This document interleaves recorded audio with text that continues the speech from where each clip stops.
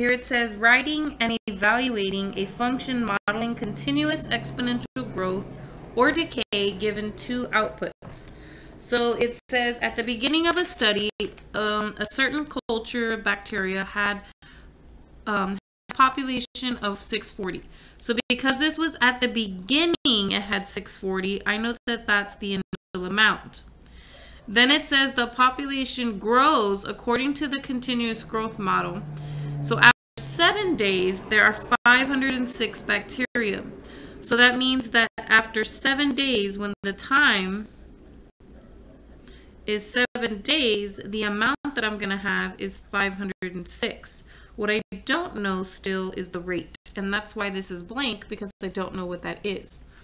So what I'm going to do is I'm going to divide both sides by um, 460. And I get 1.1, and it'll be gone from this side.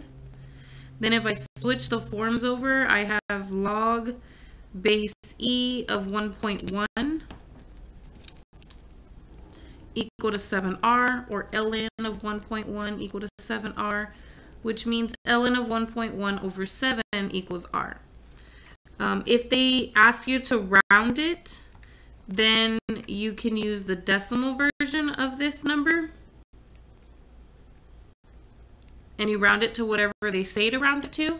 But if it does not ask you for the rounded number, then make sure you plug in the exact number in this parentheses.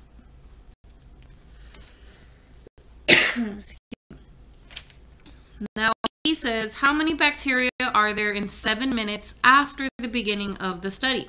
So I'm going to use that formula from the previous problem. I'm going to use the decimal version 0, 1, 3, 6, 1, 5, 7, 4. And I'm saying after 7 minutes. So when I plug this in here, it's going to be 460 E. And then I'm just going to pull up that number times 7. And I get 506.000. And usually it tells you to round. So you just get 506. Now this one was a silly question um, because it already told you that after, oh, that's why. Because it said after seven days, um, there was 506, and now it's asking you for seven minutes. So this is, um, oh man, this is tricky. Normally it doesn't change the units on you like that, but if it does, you have to be careful and you have to pay attention to what it's telling you about the formula. So if it tells me here that the T is in um, days, then you did all this correct and you found the right rate. But then that also means that this is not the correct value to be plugging in. Because if I'm talking about seven minutes, that is not the correct, or if I'm talking about days, that is not the correct value in there.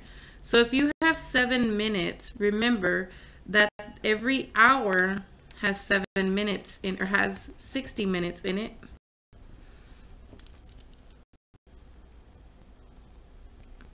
And then every um, day has 24 hours in it.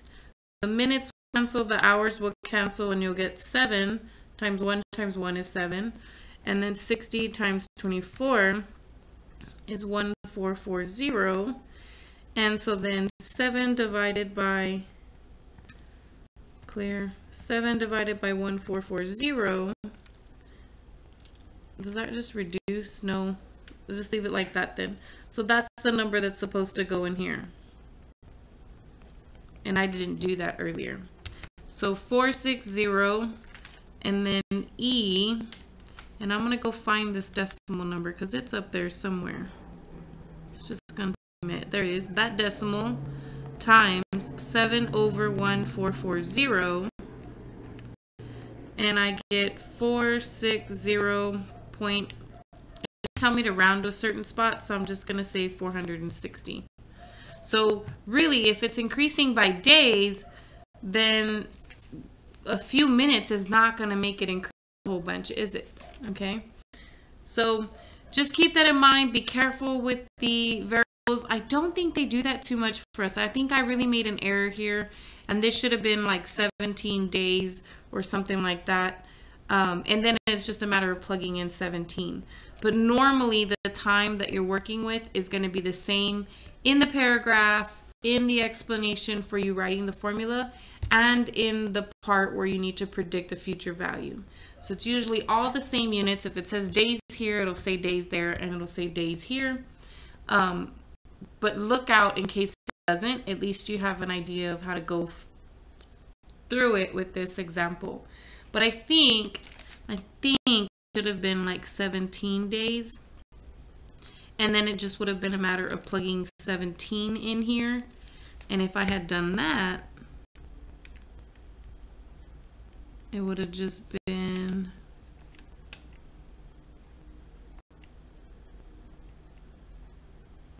Oh, I'm deleting the wrong thing.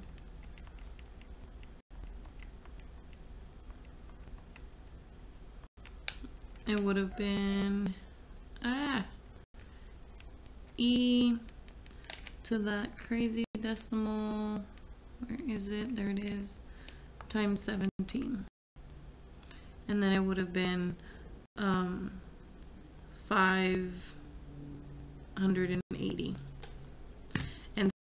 after 17 days it would have been 580 bacteria okay? But it's still a good example. It's literally kind of like the previous one um, except instead of giving you double or half they tell you the amount and the time that relates to it. So they give you um, this amount, where is it? They give you this amount and the time that goes with it, and then from there you be able to solve for R. Whereas before, in the previous example, they told you that this was either half of the original or they told you that this was double the original. But other than that, it's the same topic as the one before.